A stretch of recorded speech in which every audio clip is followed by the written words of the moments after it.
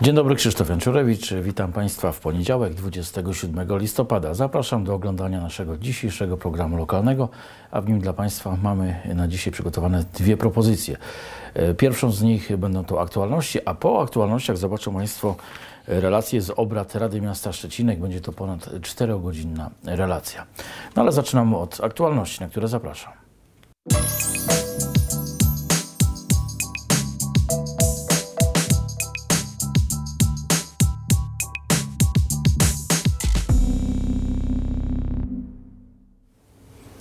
Dziś obradowała Rada Miasta. Radni do rozpatrzenia mieli dziewięć uchwał. Po części proceduralnej radni dokonali zmian w budżecie miasta, a następnie zajęli się projektem radnych opozycyjnych dotyczącym przeprowadzenia na terenie miasta Szczecinek konsultacji społecznych w sprawie budżetu obywatelskiego jako części budżetu miasta na 2018 rok. Dyskusja była bardzo gorąca i długa. Rada projekt odrzuciła, bo zdaniem radcy prawnego jest spóźniony. Już po sesji radni z klubu Razem dla Szczecinka wraz z pomysłodawcą projektu na krótkim briefingu przedstawili swoje zdanie na ten temat. E, Drodzy Państwo, właśnie przed chwilą zakończyła się sesja Rady Miasta, na której głosami radnych Platformy Obywatelskiej został odrzucony projekt uchwały o budżecie obywatelskim w Szczecinku. Projekt ten został przygotowany przez Klub Radnych Razem dla Szczecinka, ale inicjatorem i pomysłodawcą tego, tego pomysłu jest pan e, Maciek Lechowicz. Także może proszę o parę słów na ten temat. E, Ja po pierwsze dziękuję bardzo e, panom za poparcie pomysłu. Szkoda, że drugi raz z rzędu się nie udało e, to zrobić, ale ja myślę, że kiedyś jednak ten budżet obywatelski w Szczecinku będzie. Wydaje mi się, że podstawowym problemem Podstawowy problem jest taki, jakby, że radni nie zrozumieli o co chodzi w koncepcji budżetu obywatelskiego.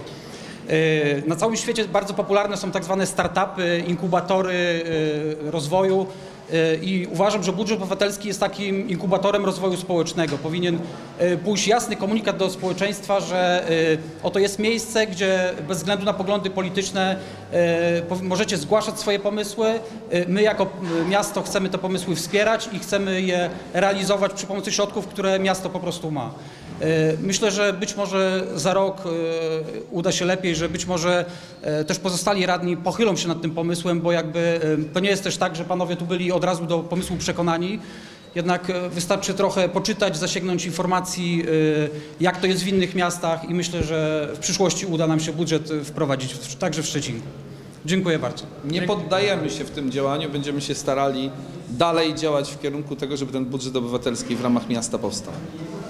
Dziękujemy. Przykro bardzo, że e, wśród radnych e, Platformy Obywatelskiej i e, u pana burmistrza projekt tej uchwały nie znalazł tym razem też zrozumienia. Zostało Moim zdaniem może by to wywołało impuls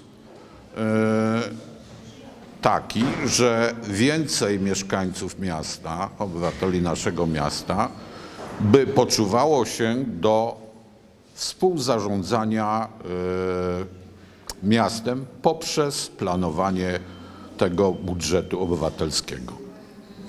Z obywatelskości Platformy zostało tylko słowo obywatelskie, nic poza tym tam Pan, już pan niestety... tego- wiceburmistrz mówił o tym, że y, jakby rad, są rady osiedla tak? i jednocześnie mówi, że ludzie są jakby mało aktywni społecznie w tych radach. Nawet słyszałem, że gdzieś te środki do końca nie są wykorzystane. No to dla mnie wniosek jest jeden. Te rady niekoniecznie są do końca skuteczne. Tak? Należy szukać nowego rozwiązania. Rada osiedla, y, fun- funkcjonowanie budżetu nie, nie przeszkadza w funkcjonowaniu y, Rady Osiedla.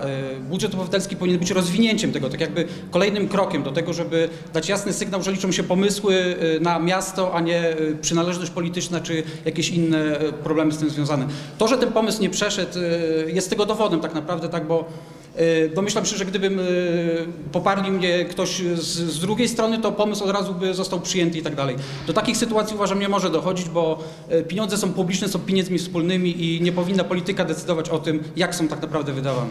W dalszej części obrad radni dokonali zmian w regulaminie utrzymania czystości i porządku na terenie miasta, a także wprowadzili zmiany w programie zdrowotnym dofinansowanie do leczenia niepłodności metodą zapłodnienia pozaustrojowego dla mieszkańców miasta Szczecinek na lata 2017-2019. Gorąco było też podczas dyskusji nad projektem uchwały w sprawie reprezentacji Rady Miasta w śledztwie dotyczącym działania na szkodę miasta. I tu wnioskodawcy zbyt późno złożyli projekt uchwały, bo śledztwo się zakończyło. Rada przyjęła też informację w sprawie wyznaczenia podmiotów, w których w 2018 roku będzie przez skazanych wykonywana kara ograniczenia wolności oraz praca społecznie użyteczna. Zapytania radnych zakończyły obrady. Retransmisja obrad po programie lokalnym. Zachęcamy do śledzenia obrad.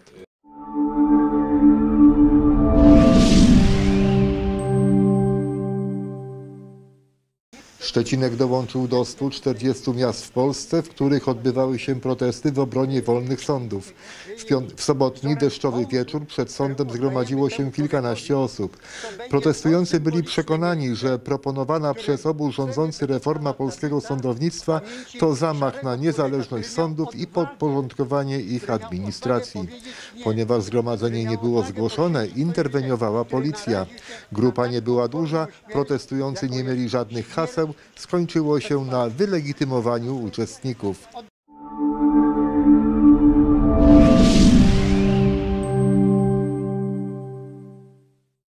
Stowarzyszenie Turystyczno-Sportowe Pomerania zakończyło cykl imprez z programu Lekkoatletyka dla każdego. Impreza wieńcząca program odbyła się w hali lekkoatletycznej przy szkole podstawowej nr 7. Tak, lekkoatletyka dla każdego trafia, do- e, chcemy trafić do każdego domu, do dzieci o różnych e, warunkach somatycznych.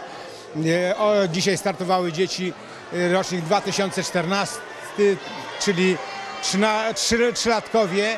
Także to, to cieszy. Mamy wspaniałe warunki w Szczecinku, hala lekkoatletyczna, stadion e, w przyszłym roku będzie otw- e, otwarty. E, Szkolimy sędziów. Wszystko w, jedny, y, wszystko w jednym dzisiaj. Jakiemu celowi służą dzisiejsze zawody? To było zakończenie cyklu imprez y, lekkoatletyka dla każdego. Eee, I celem jest przede wszystkim popularyzacja lekkiej atletyki i zapełnienie naszych obiektów, które są wybudowane i które jeszcze są budowane. Dziś każdy zwyciężył. Dokładnie tak, dlatego mamy złote medale eee, i każde dziecko dostało złoty medal.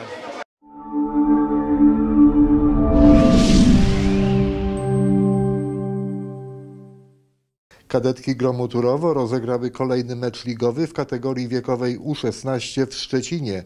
Tym razem o Mistrzostwo Województwa Zachodniopomorskiego walczyły z Wilkami Morskimi Szczecin. Po nerwowym meczu Turowianki wygrały 58 do 44. Następne ligowe spotkanie za dwa tygodnie. Grom zagra w Goleniowie z Gryfem.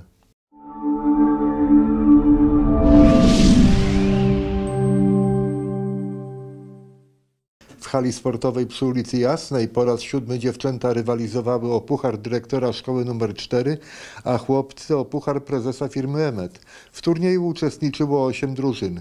W kategorii wiekowej chłopców klas czwartych szkół podstawowych Emet Basket zajął drugie miejsce, a w kategorii klas piątych odpowiednio czwarte i piąte miejsce przegrywając z drużynami Spójni Stargard oraz Żakami z Koszalina.